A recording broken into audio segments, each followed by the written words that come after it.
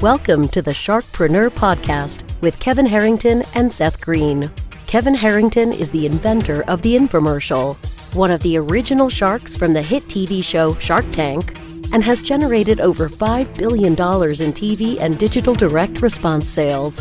Seth Greene is the world's first trusted authority on cutting edge direct response marketing, a best selling author, and the only three time Marketer of the Year nominee.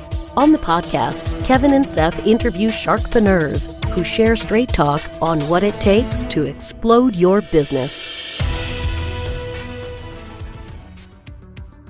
Why do so many businesses struggle while others seem to explode overnight? Do you wish you had the secret to this type of exponential growth?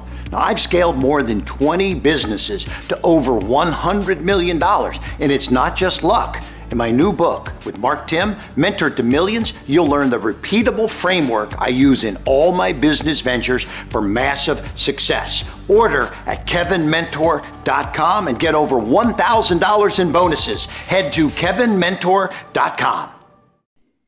Welcome to the Sharkpreneur Podcast. This is your co host, Seth Greene. With me, as always, is the inventor of the infomercial and the original shark on the hit TV show Shark Tank, Kevin Harrington. Kevin, thanks for being here.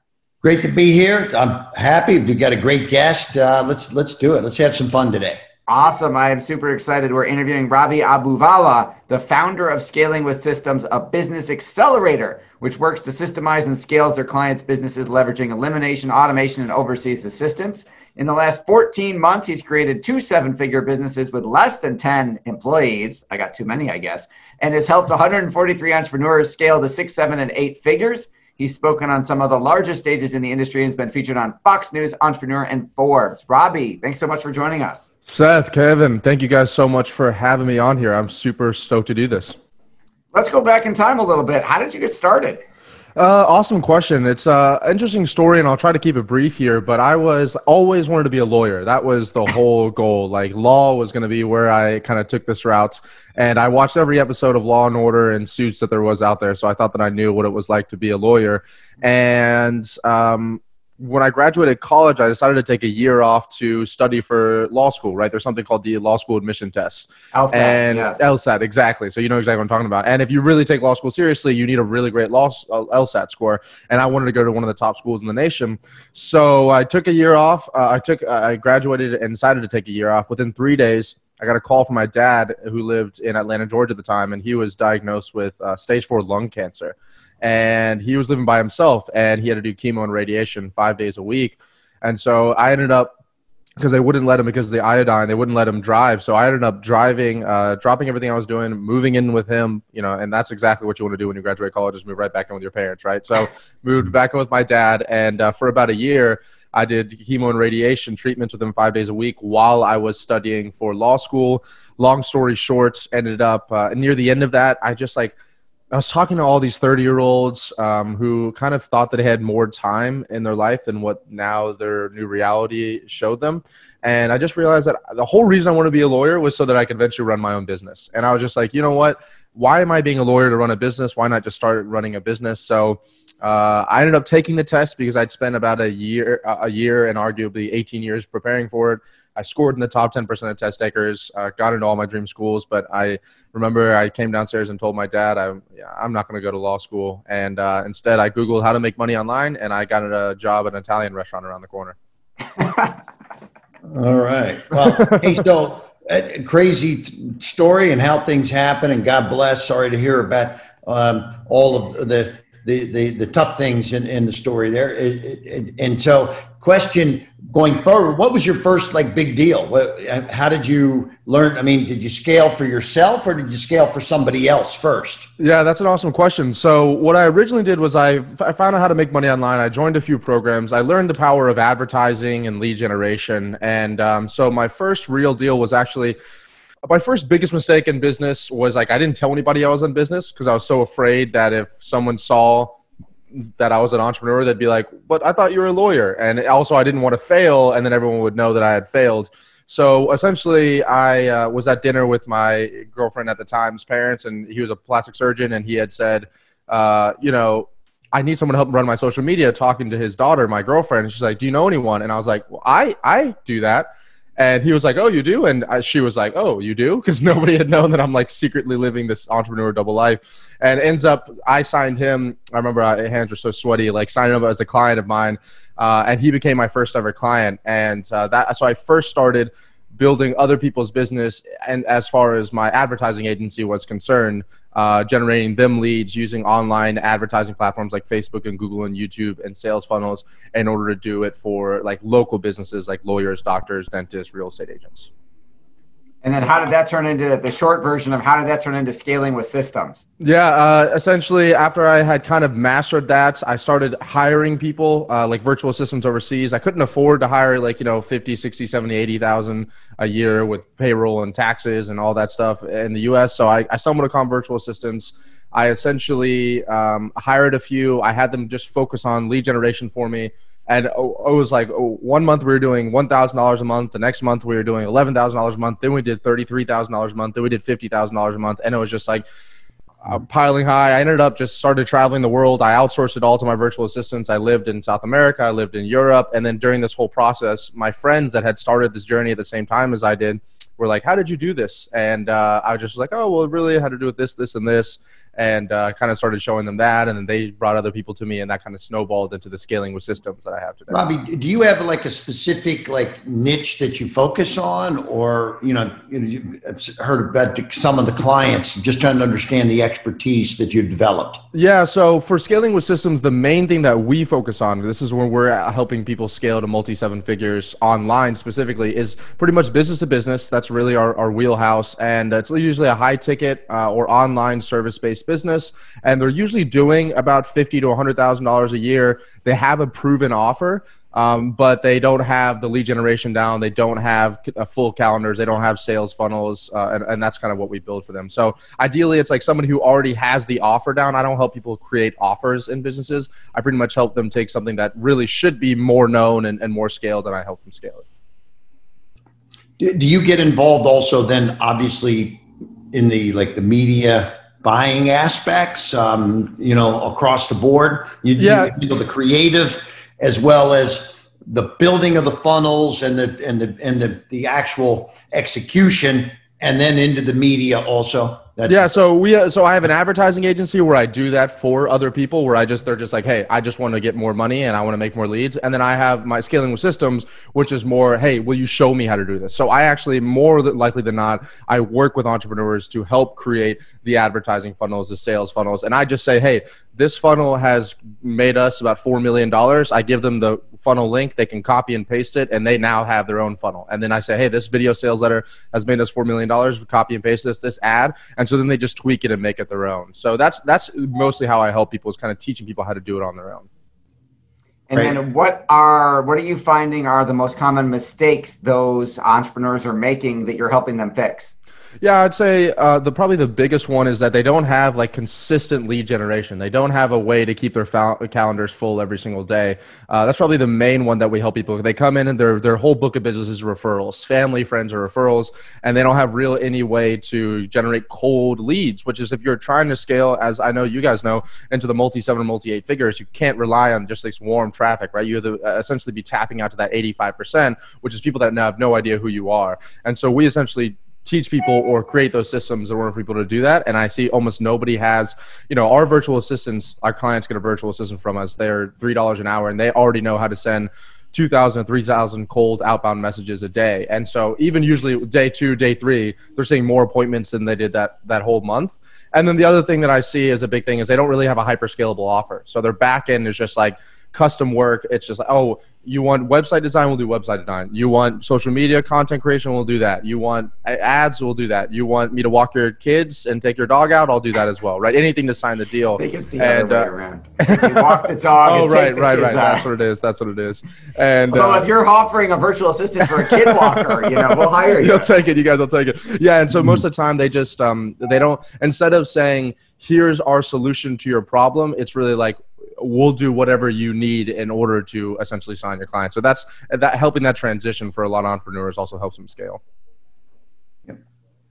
And where do you see like if, if you if you had a lot of COVID related activities uh, coming up? I mean, this is obviously a big challenge for a lot of people. So is this presented opportunities for you? Yeah, the cool thing is, is I'll be honest with you, Kevin. It's like my day to day really didn't change a whole lot whenever COVID happened. Like I'm pretty much, I just stay inside. I work. I think a lot of people who worked online, their their day to day didn't change a whole lot. I just didn't get to go to the gym or eat out as much. Um, but obviously, my brother has a restaurant in Florida, so I know how much this really affected people, especially people I care about. But we were blessed in the sense of like we already specialize in helping people who are really brick and mortar transition online and create e-commerce stores, create online services, subscription based models, sales funnels, ads. Uh, and so I was honestly, you know, really, really one of the fortunate ones where our business actually picked up uh, during COVID because more people were realizing, okay, I think that no matter what, eventually something would have happened where if you were a gym and you didn't have some kind of online subscription basis, or you were a restaurant and you didn't have some kind of subscription basis, or you're a coach or a trainer and you're not doing that online, eventually something's going to happen in the economy where you have to do it. I think that COVID obviously shotgunned that and obviously was was uh, disrupting for everybody here. But uh, we were already helping a lot of people make that transition, and so to be really frank with you guys, it just uh, brought us a lot more business when people saw that we could do that really well. I'm going to steal one of Kevin's favorite questions and ask you to tell us about an example of a magical transformation of a business that came to you where they were before and then where they are now based on what you did for them. Yeah, that's an awesome question. So uh, I have a good friend of mine. His name's Shane Cigar. Uh, incredible guy. He runs a, a, really successful advertising agency, actually for the CBD industry. And he came to us in January of this year um, and he had done local search engine optimization for uh, clients before, and he was doing about $8,000 a month doing that. But uh, just like I had said, the two biggest issues he had was number one, he was just based on referrals and getting new clients. And number two, SEO work is very customized. It's very hard to do, like, you know, um, copy and paste SEO work. And so he realized that if he did lead generation through ads, not only number one are his clients seeing results in two to three days versus like six to 12 months, but number two, he can copy and paste the same thing across the entire industry.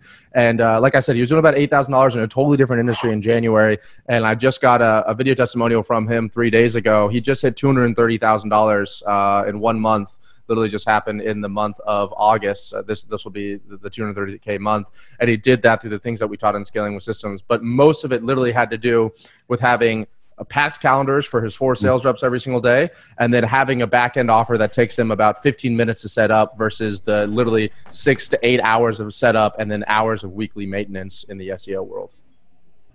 So, are you out? Um, are, is one of your business models we're doing a podcast right now instead of like face to face kind of get togethers.